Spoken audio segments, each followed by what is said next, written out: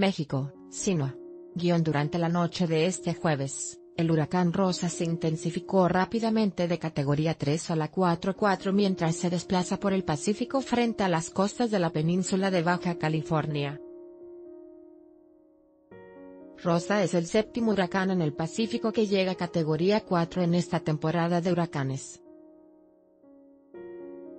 El Servicio Meteorológico Nacional informó que el huracán alcanzó vientos máximos sostenidos de 230 km por hora, y rachas de 275, y que a las 22 horas se ubicaba a unos 975 km al suroeste de Cabo San Lucas, ubicado en el extremo sur la península conformada por los estados de Baja California y Baja California Sur. Se prevé que Rosa se enfile hacia la península, y toque tierra en Baja California el próximo 1 de octubre como tormenta tropical.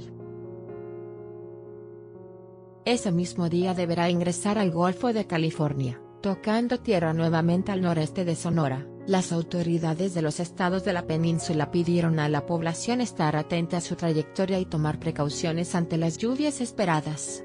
Los desprendimientos nubosos de Rosa ocasionarán olas que podrían superar los 5 metros de altura en la costa este de la península el domingo 30 de septiembre y el 1 de octubre próximos, además de que reforzarán el potencial de tormentas.